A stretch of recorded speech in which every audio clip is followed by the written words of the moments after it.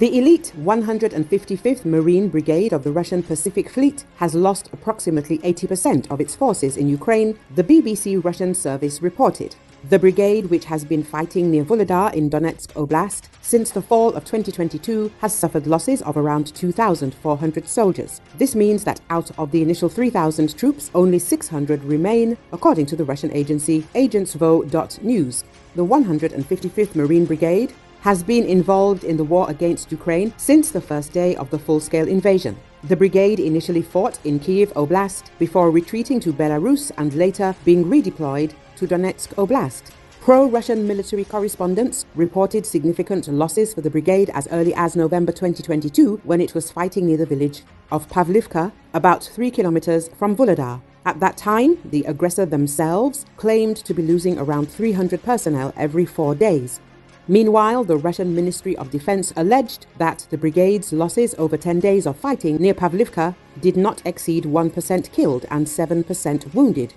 The story of the 155th Brigade serves as a vivid illustration of the exhaustion of Russian units fighting on the most difficult sections of the front. Agentsvo.news writes Ukrainian Defense Forces confirmed the withdrawal of their units from Vuhledar in Donetsk Oblast on October the 2nd. The 155th and 40th Marine Brigades of the Russian Federation could have lost more than 2,100 personnel in Vuhledar, including those killed, severely wounded, and missing in action, the BBC Russian service reported on October the 4th. This represents 40% of the pre war strength of these two units. Currently, the 155th Brigade operates in the Kursk region, where it was moved in August 2024 after the start of the Ukrainian offensive in the Russian region. In August, fighters from this brigade published a recording showing the severed head of a Ukrainian soldier impaled on a post in the Belgorod region. Vuhledar, which the brigade had been attacking since 2022, only came under full Russian control at the beginning of October.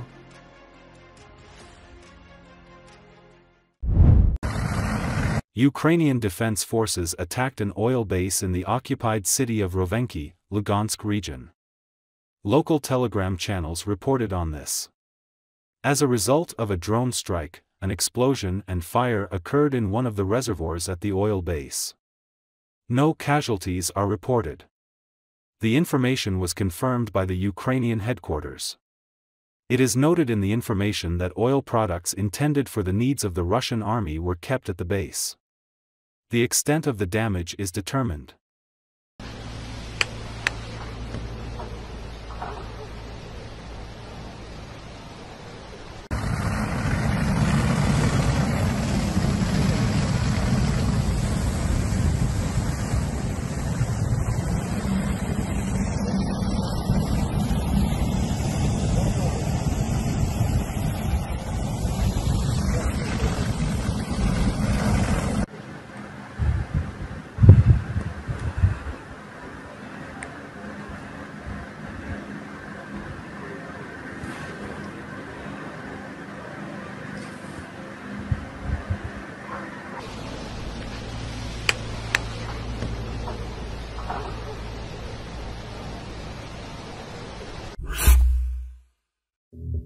During the strike on a military airfield in the Republic of Adygia, four missiles, 15 aerial bombs and 41 unified planning and correction modules were destroyed. The telegram channel ASTRA reports this, citing its sources. The publication also reports that the runway was partially destroyed. During attack on the Khanskaya airfield in Adygia, one of the drones hit an ammunition depot. According to sources, as a result, an X-31 missile, 3 X-35 missiles and 15 UMBP aerial bombs detonated. Also lost were 41 unified planning and correction modules which are installed on aerial bombs, increasing their range by tens of kilometers, 20 UMPK, 500M, 16 UMPK, 505 UMPK. Another UAV hit the runway. It was partially destroyed, the report says. Let us recall that on the night of October 10, Ukrainian drones attacked the suburb of Maykop in the Republic of Adygia.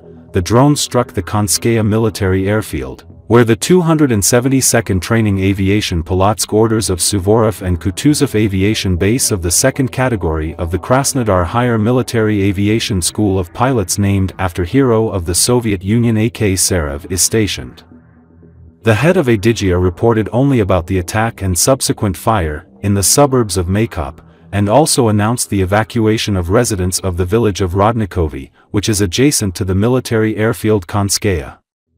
The attack on the airfield was not officially confirmed by either local authorities or the Russian Defense Ministry. However, it was confirmed by the General Staff of the Armed Forces of Ukraine.